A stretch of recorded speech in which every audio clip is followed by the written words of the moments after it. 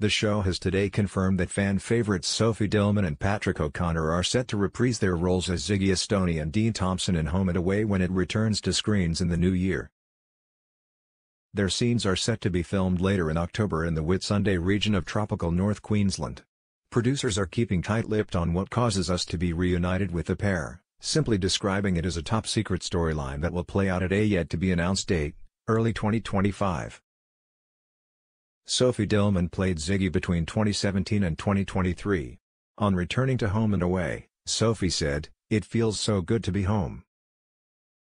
Patrick O'Connor, who joined the show less than eight months later than Sophie, first appearing on screen February 2018, added, I can't wait for the action, and for fans to see this storyline play out.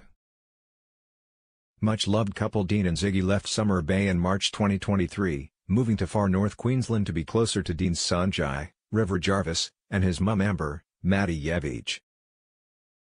Since their departure, Dean's sister Mackenzie has paid them an off-screen visit as she nervously revealed to Dean that she had begun dating Levi, who had left his loving wife Imogen to be with her.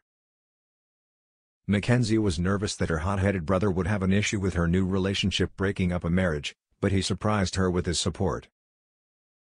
Are we set to see Mackenzie pay her brother and sister-in-law another visit, this time on screen, or is there another reason for the pair to return to our screens? Only time will tell. Now, we look set to be reunited with the pair in early 2025, a little over two years after their departure. As for why, all will be revealed in the new year.